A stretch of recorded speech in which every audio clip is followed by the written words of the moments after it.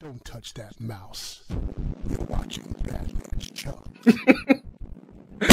Chuck.